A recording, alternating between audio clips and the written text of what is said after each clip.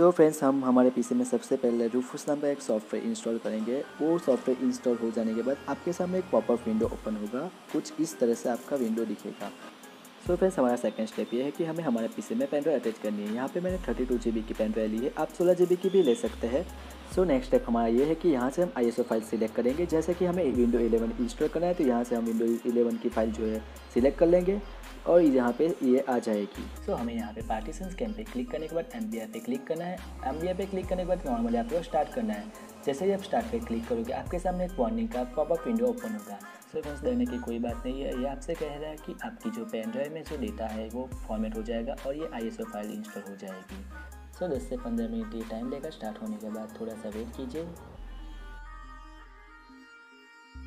सो so friends इसे 100 percent होने दें। 100 परसेंट हो जाने के बाद इसे आप क्लोज़ कीजिए। क्लोज़ करने के बाद आपके पीसी को रिस्टार्ट कीजिए। विंडो रिस्टार्ट करने के बाद F9, F10 या F11 प्रेस कीजिए। जैसे आप कोई भी की दबाएँगे तो आपके सामने ऐसा पॉपअप विंडो ओपन होगा। तो यहाँ से आप यूएसबी पे क्लिक कीजिए। यूएसबी पे क्लिक करने के बाद आपको एंटर क्लिक करना है। एंटर क्लिक करते ही आपका सेटअप जो रन हो जाएगा। सो फ्रेंड्स आपके सामने विंडो ओपन होगा। आपको नेक्स्ट करना है और इंस्टॉल पे क्लिक कर देना है। इंस्टॉल पर क्लिक करने के बाद आपके पास प्रोडक्ट की मांगेगा पर आपको आई डोंट हैव की पे क्लिक करना है और आगे बढ़ना है। जैसे आप आगे जाएँगे तो आपको 11 प्रो पे क्लिक करना है और नेक्स्ट कर देना है। सेम यहाँ पे भी आपको क्लिक करना है नेक्स्ट करना है कॉस्ट्यूम में जाके आपको यहाँ पे आपके डिवाइस सिलेक्ट करनी है और नेक्स्ट करना है। यहाँ पे आपका विंडो इंस्टॉल होने में थोड़ा सा टाइम लेगा, दस से पंद्रह मिनट हंड्रेड परसेंट हो जाने के बाद आपको यहाँ पे रिस्टार्ट का ऑप्शन दिखेगा। तो यहाँ पर आपको रिस्टार्ट का क्लिक कर देना है। जैसे आप रिस्टार्ट करेंगे तो आपका विंडो स्टार्ट हो जाएगा। थोड़ा सा टाइम लगेगा। सो फ्रेंड्स मैं ब्यूरोफोर्स और विंडो 11 की लिंक डिस्क्रिप्शन में डाल दूँगा, वहाँ पे जाके आप डाउनलोड कर दीजिएगा। और फ्रेंड्स अगर आप मेरे चैनल पे नए हैं तो प्लीज़ मेरे चैनल को सब्सक्राइब कर दीजिए, जिससे आपकी मेरी सारी वीडियो की नोटिफिकेशन मिलती रहे। सो फ्रेंड्स यहाँ पे आपका विंडो स्टार्ट होगा। स्टार्ट होने के बाद आपको मैं जो भी सेटअप दिखाता हूँ, वैसे आप कंटिन्यू सेटअप करते जाए।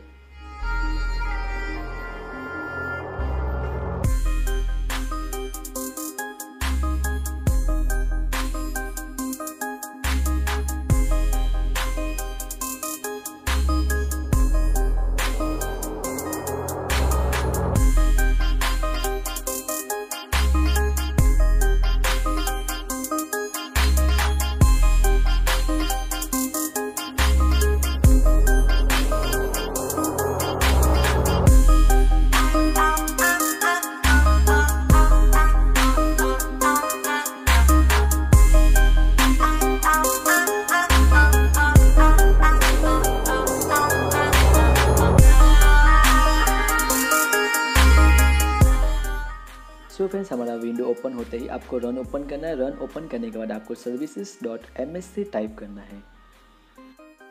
सो so फ्रेंड्स आपके सामने इस टाइप का विंडो ओपन होगा। विंडो में आपको विंडो अपडेट ढूंढना है। विंडो अपडेट ढूँढने के बाद आप उस पर राइट क्लिक कीजिए स्टॉप कीजिए। स्टॉप करने के बाद उस पर वापस से राइट क्लिक कीजिए प्रॉपर्टीज़ में जाए और यहाँ से आपको डिसेबल करना है और अप्लाई कर देना है। अप्लाई करने के बाद आपका विंडो जो है नॉर्मली स्टार्ट कीजिए।